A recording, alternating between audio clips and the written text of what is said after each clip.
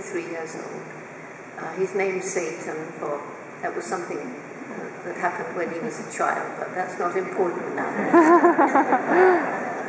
and we're following him along this trail through the forest, and suddenly we hear sounds ahead which clearly indicate that a group of chimpanzees has found good food. It's sort of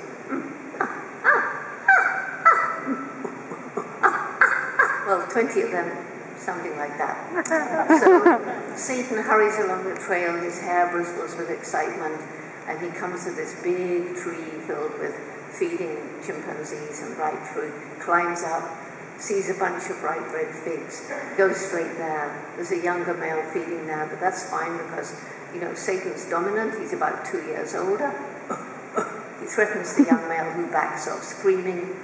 Satan begins to feed, but what Satan didn't realize is that that young male's older brother is feeding higher in the tree. And hearing his kid brother in trouble, he comes swinging down, and the two brothers attack Satan. Now Satan screams.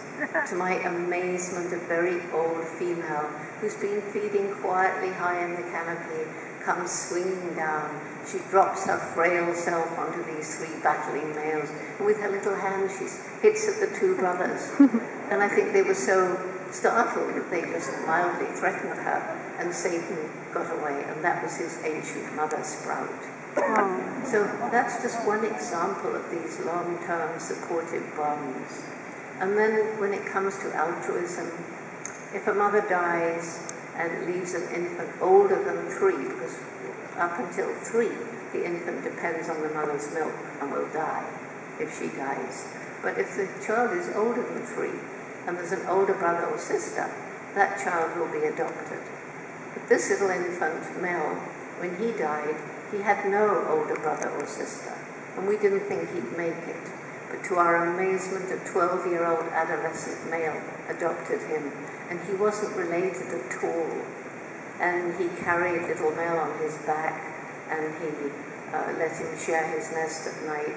If Mel begged, whimpering, um, Spindle shared his food, and he protected him if he got too near to socially roused males, and saved his life. So it's very clear, isn't it? There is no sharp line after all between us and the rest of the animal kingdom. It's a blurry line we are part of and not separated from the rest of the animal kingdom.